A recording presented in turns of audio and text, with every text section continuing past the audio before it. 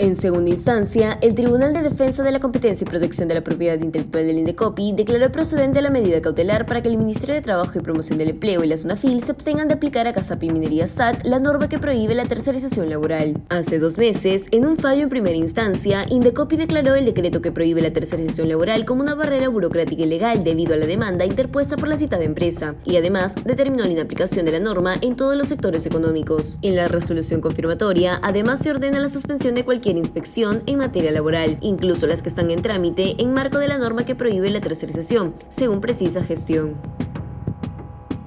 En medio de las investigaciones de su contra y de la contundente denuncia constitucional que está en el Congreso, el presidente Pedro Castillo, lejos de referirse de manera alturada a la situación, decidió atacar sin reparos a la prensa y a un grupo de congresistas, oportunamente en medio de una ceremonia con licenciados de las Fuerzas Armadas, quienes vitorearon las palabras del mandatario y respondieron con un cierre en el Congreso. Castillo afirmó que recibirá a los licenciados cada vez que sea necesario y de inmediato volvió a atacar a la prensa, al afirmar que los medios de comunicación están sesgados para mentirle al país coludidos con un grupo de poder que han mancillado al pueblo. En esa misma línea, el mandatario insistió en reforzar su discurso de división y nuevamente optó por victimizarse. Sin embargo, lo más grave fue que acusó a la fiscalía, sin pruebas ni evidencias, de pagar millones de soles a los implicados en los casos que investiga para que se vuelvan colaboradores eficaces.